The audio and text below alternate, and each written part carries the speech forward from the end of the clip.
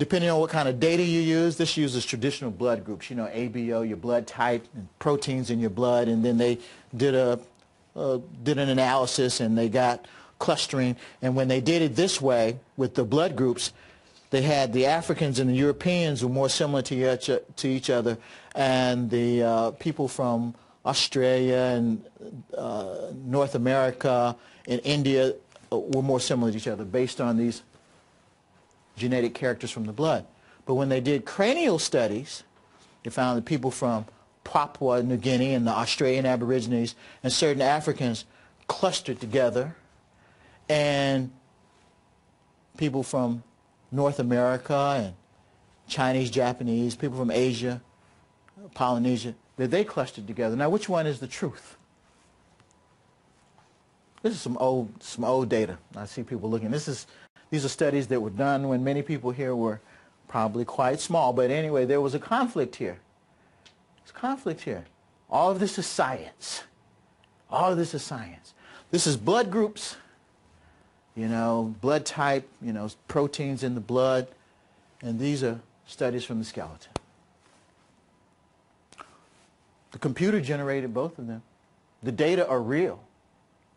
Which one tells the truth?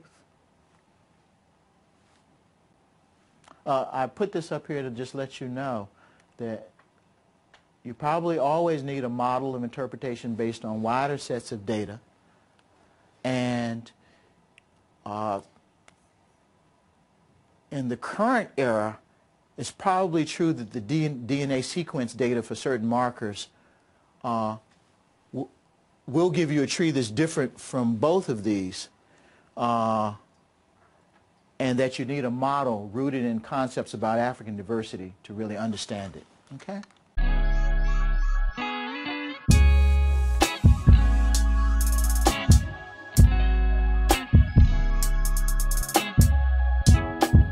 There is something in physical anthropology and evolutionary biology called polytopicity.